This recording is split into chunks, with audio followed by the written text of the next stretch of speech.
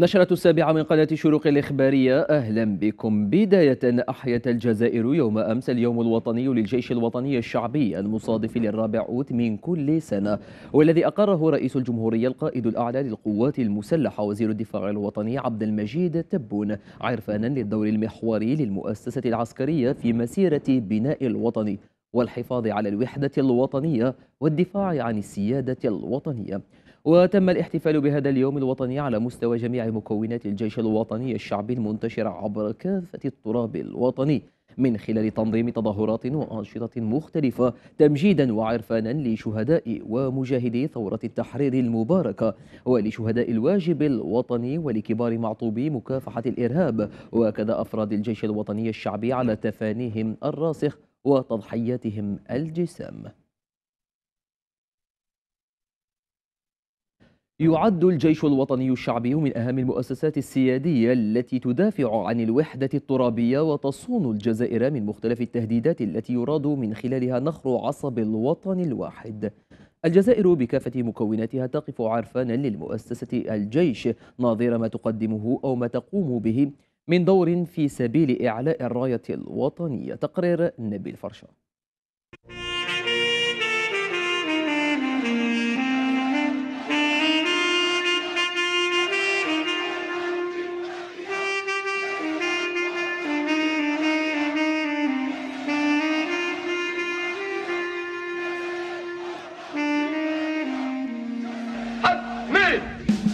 من رحم معاناة شعب أبي خلال الثورة المجيدة ولد الجيش الوطني الشعبي فكان الوسم معبرا عن مضمون وفحوى هذه المؤسسة التي جعلت من الشعب عمادا لها عبر كافة المستويات ليكون السليل نابعا من نواة الجزائر صائنا لها رافعا لرايتها عاليا وسط الأعلام.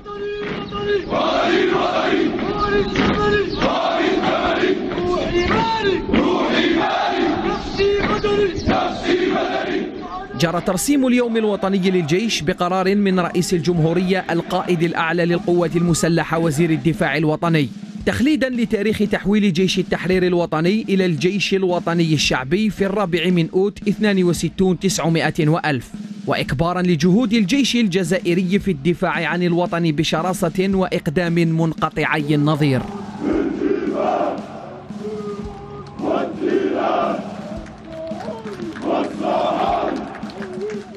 ظل الجيش الوطني الشعبي عنوانا للوطنية ولعب دورا مشهودا في التنمية وبقي وفيا للخيارات الاستراتيجية للجزائر بقناعة تفيد أن المبادئ العقائدية لسياسة الجزائر وتلك الخاصة بالدفاع الوطني ثابتة لا تتغير.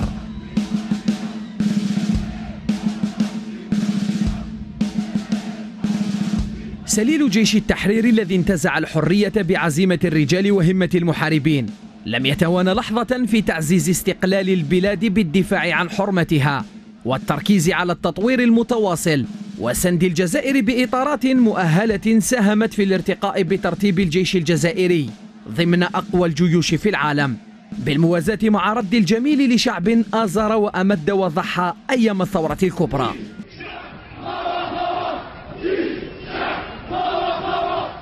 عبارة عفوية لكن في معناها ما يبرز العلاقة الوطيدة المتينة بين الشعب وجيشه والتلاحم الذي ميزها. وبعث برسالة للعالمين تفيد أن النواة والعقيدة واحدة والهدف أيضا واحد يتمثل في صون الجزائر وجعلها في منأى عن أي خطر.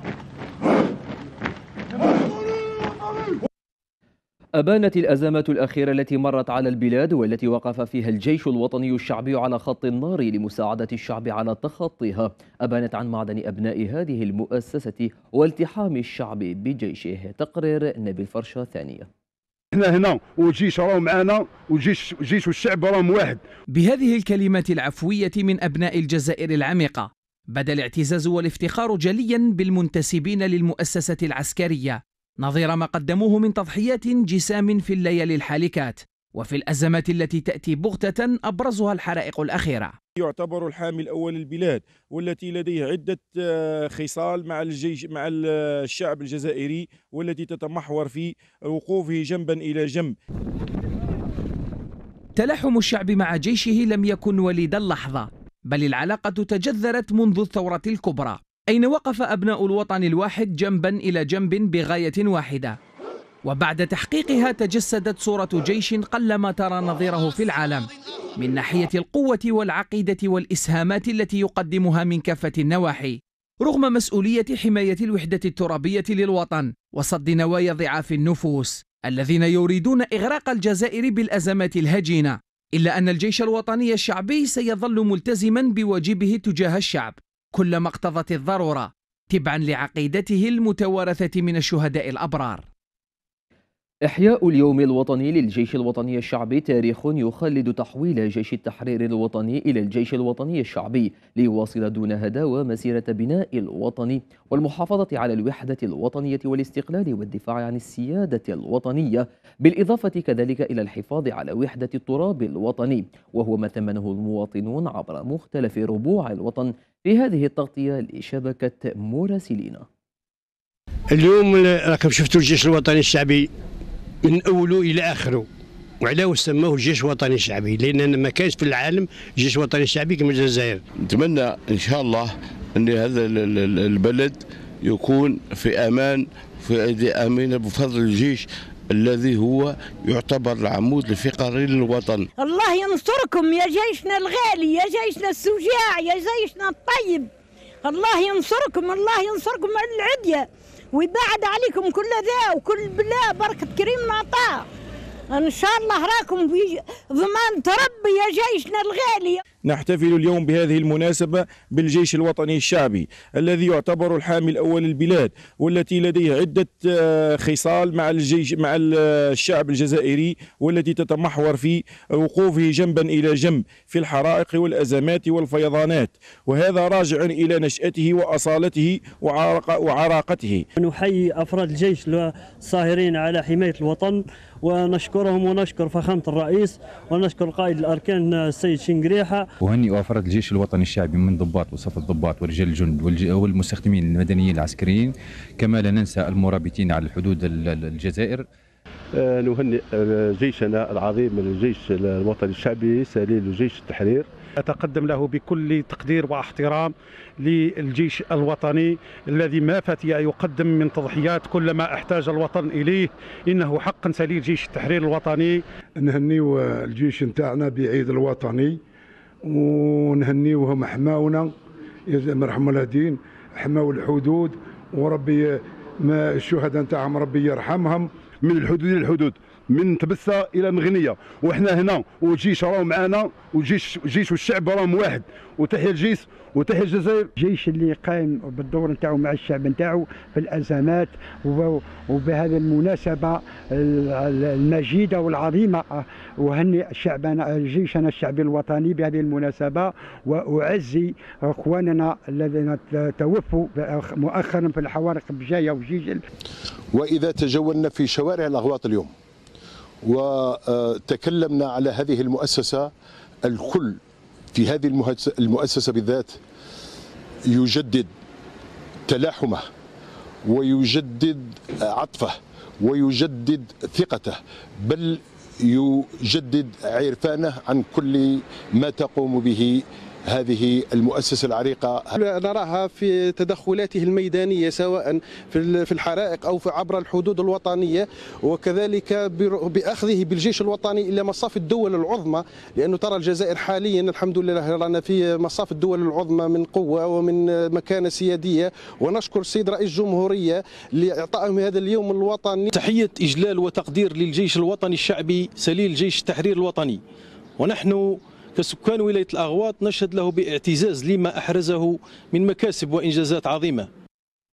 يرى فاعلون أن استحداث هيئات اقتصادية جديدة من شأنه إحداث نقلة جذرية في اقتصاد الجزائر وتحسين معاييره بما يمهد لها الطريق لولوج تكتلات وهيئات اقتصادية دولية. تقرر في الموضوع لهشام زروقي. بعد تحقيق سبعة مليارات دولار صادرات خارج المحروقات تسعى الحكومة إلى تحقيق رقم جديد خلال السنة الجارية بقيمة 13 مليار دولار. هدف دفع الحكومة إلى تنصيب المجلس الوطني الاستشاري لترقية الصادرات. لبنة هامة ستدعم الاقتصاد الوطني من خلال تحديد وضبط وتقييم الاستراتيجية الوطنية في مجال التصدير. وكذا مرافقة المصدرين لتوسيع مجال الصادرات خارج المحروقات وتسهيل وصول المنتوج الوطني للأسواق الخارجية ورفع كل العراقيل التي يواجهونها. الحركية التي يشهدها الاقتصاد الوطني كان لابد حمايتها من آفة لطالما أنهكت ونهبت أموال الخزينة العمومية وطمست المنتوج الوطني. تمثلت في استيراد كل ما يمكن استيراده دون تحديد للحاجيات. الاستراتيجية المسطرة من قبل الدولة تهدف إلى ترقية المنتوج الوطني وتفضيله. تنصيب المجلس الأعلى لضبط الواردات من قبل رئيس الجمهورية عبد المجيد تبون يؤكد أن الجزائر ماضية في التحول من بلد مستهلك بامتياز إلى قطب صناعي مستغلة ما تمتلكه من مؤهلات في شتى القطاعات.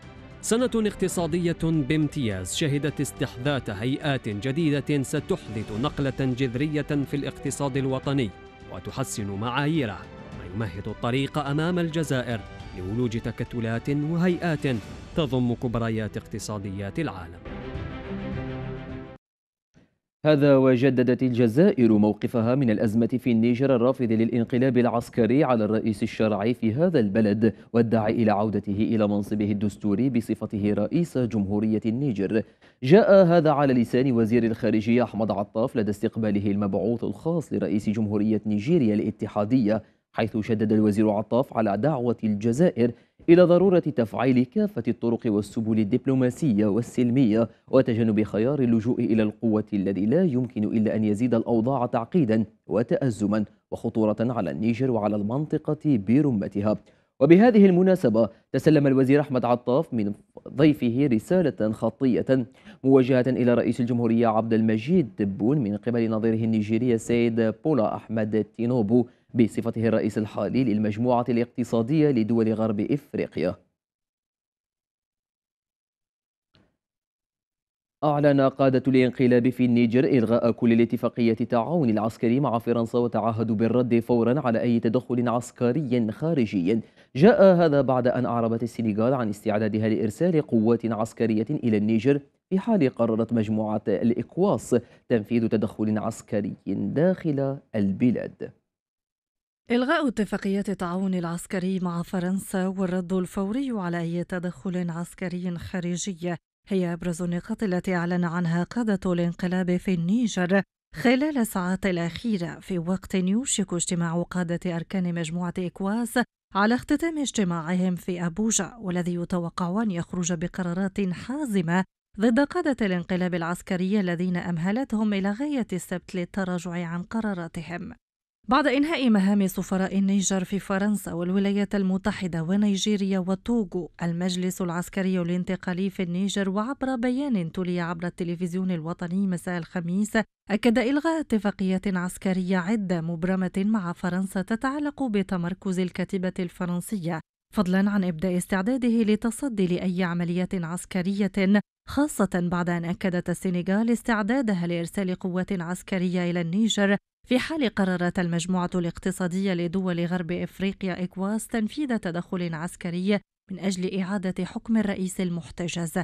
يأتي ذلك في وقت شهدت فيه العاصمة نيامي ومدن أخرى في البلاد مظاهرات بمناسبة عيد الاستقلال هتف فيها المتظاهرون تأييدا للانقلاب وضد أي تدخل عسكري خارجي.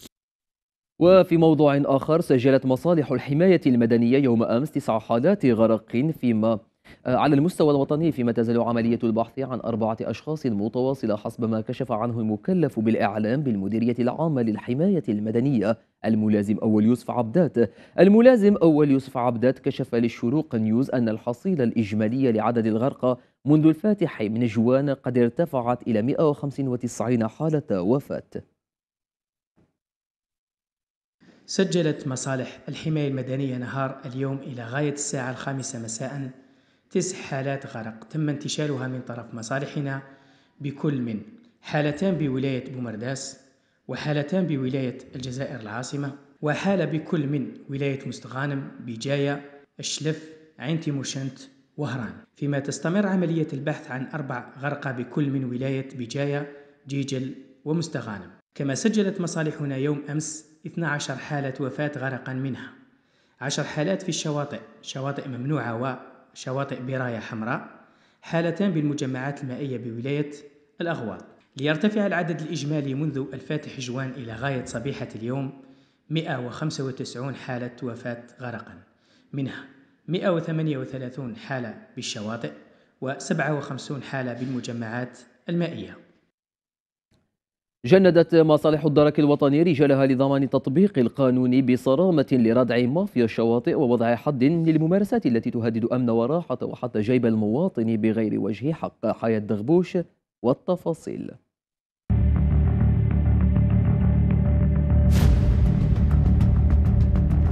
قبضة من حديد تضعها مصالح الدرك الوطني على الشواطئ الجزائرية في مداهمات خطط لها نظرا للاختلال الذي أفسد متعة الصيف ونفذت حتى تضع حدا لفوضى البزنسة في حق العائلات الجزائرية. حجز آه، بعض الطاولات والشمسيات التي يستغل فيها المواطن لدفع مبالغ خيالية. كذا قمنا بحجز آه، مختلف الحيوانات داخل داخل الشاطئ استغلال غير قانوني للأدوات المستعملة داخل الشاطئ. بالإضافة إلى القيام بعملية تحسيس متمثلة في مؤسسة الدرك الوطني وكذا مديرية التجارة وكذا فرقة البيئة قمنا بدوريات تفتيش لمختلف المطاعم المتواجدة على مستوى شاطئ النخيل حيث تمت معاينة مختلف المخالفات وذلك حفاظا على صحة المواطن وصحة المصطاف ولضمان السير الحسن لموسم الاصطياف والمحافظة على سكينة العائلات الوافدة على الشواطئ. جندت مصالح الدرك الوطني رجالها لضمان تطبيق القانون بصرامة لردع مافيا الشواطئ. وضع حواجز وتشكيل دوريات لتسهيل حركة المرور وكذا دوريات مترجلة وكذا لنشر الأمن والطمأنينة وسط المصطافين وكذلك لضمان مجانية الشواطئ مع القيام بمداهمات على طول الشريط الساحلي. مع التركيز على الأماكن المشبوهة والغابات المحاذية للشواطئ مع حجز الكراسي والخيم المستغلة في هذا النشاط. رغم التعليمات المتواصلة وإطلاق التحذيرات المتكررة كل موسم اصطياف لردع المخالفين والانتهازيين وجملة الحملات التحسيسية لضمان الأمن والأمان للمواطن الجزائري لكن تجد العائلات نفسها في كل مرة أمام أربعة فصول. كل فصل يأتي بفئة انتهازية تضع أسعارها حسب رغبتها وترغم المواطن إلى اختيار وجهة أجنبية رغم جمال بلادنا. وختاما في تجربة غير مسبوقة تمكن ذوو الهمم من الولوج إلى مياه البحر دون عوائق. الشروق رافقتهم لنقل فرحتهم بشاطئ سيدي فرج المخصص لهم حصرا. كراسي تطفو فوق الماء تمكنهم من السباحة وممرات خاصة تسهل تنقلهم على رمال البحر. هكذا جهزت شواطئ العاصمة لاستقبال فئة ذوي الاحتياجات الخاصة خلال موسم الاصطياف. يعني في إطار آه، يعني تسهيل وصول الأشخاص المعاقين لكل يعني الفضاءات. فراكم تشوفوا اليوم. كذلك آه، فكرت الدولة الجزائرية في ذوي الهمم آه، في أنهم يكون عندهم حق في الترفيه والتسلية خاصة في فصل الصيف. فاليوم آه، يعني مديرية النشاط الاجتماعي والتضامن لولاية الجزائر يعني تشرف على هذه العملية اللي هي اقتناء كراسي عوامة باللغة الأجنبية تدعى ب des chaises flottantes هذه الكراسي زائد يعني ممرات اللي راكم تشوفوها هنا أمامكم.